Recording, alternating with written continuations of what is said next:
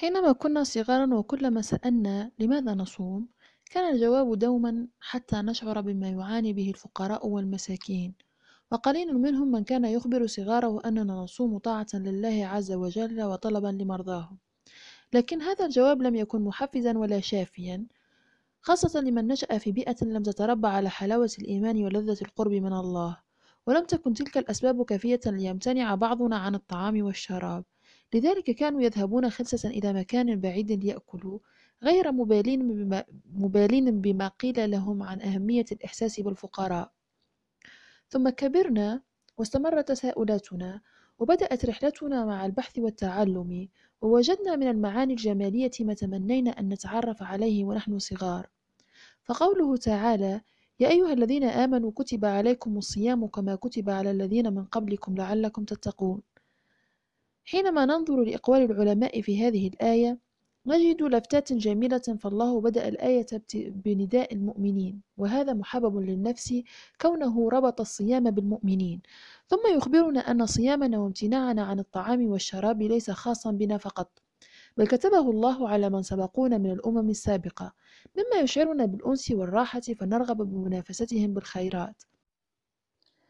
حينما كنا صغارا وكلما سألنا لماذا نصوم كان الجواب دوما حتى نشعر بما يعاني به الفقراء والمساكين.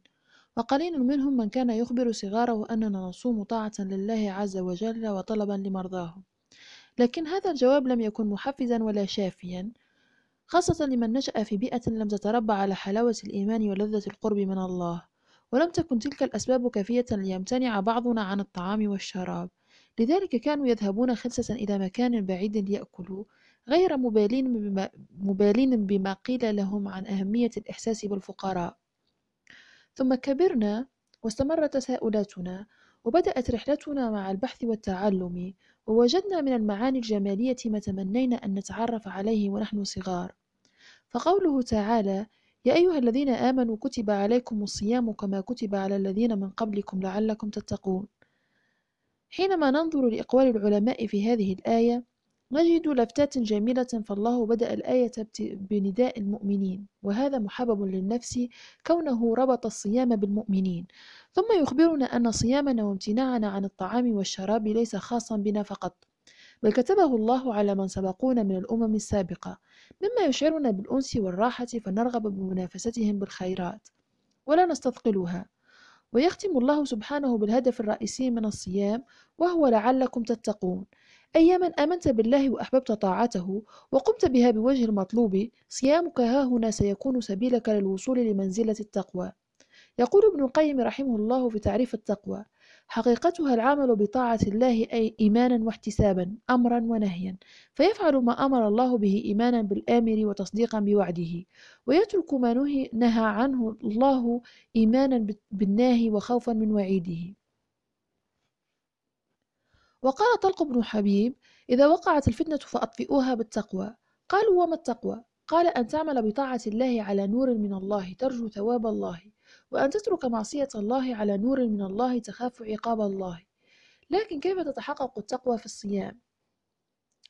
يقول سعدي رحمه الله باختصار إن الصيام من أكبر أسباب التقوى ففيه امتثال أمر الله واجتناب نهيه وفيه أن الصائم يترك ما حرم الله عليه من الأكل والشرب ونحوها متقربا بذلك إلى الله راجيا بتركها ثوابه فهذا من التقوى. وفيه أن الصائم يدرب نفسه على مراقبة الله تعالى فيترك ما تهوى نفسه مع قدرته عليه لعلمه باطلاع الله عليه.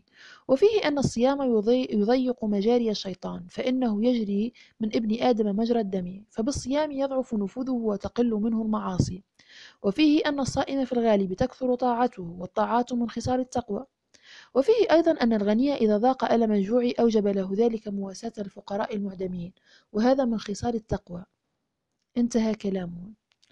إذا الله لم يأمرنا بالصيام لنترك الطعام والشراب فقط بل أمرنا به وسيلة لتتهذب أنفسنا وتتزكى.